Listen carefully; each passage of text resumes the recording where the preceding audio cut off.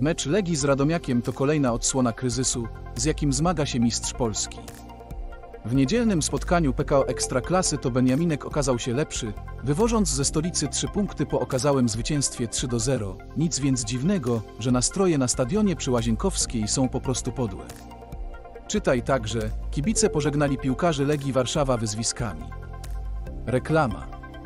Wideo odtwarzacz wideo wymaga uruchomienia obsługi JavaScript w przeglądarce. Legia Warszawa. Aleksandar Wukowicz.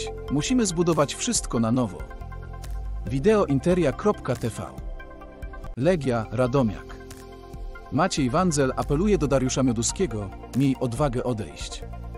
Porażka na zakończenie rundy sprawiła, że Legia spędzi przerwę świąteczną w strefie spadkowej na 17 miejscu w tabeli. Troskę o los drużyny wyraził jej były współwłaściciel Maciej Wandzel, który wystosował bezpośredni apel do Dariusza Mioduskiego. Darek. Odpuść. Przez wzgląd na klub, społeczność i własną inwestycję.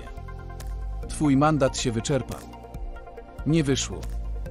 Nie podniesiesz już tego. Tak bywa w życiu. Za jakiś czas o tym zapomnimy. Miej odwagę odejść, napisał Wandzel na Twitterze.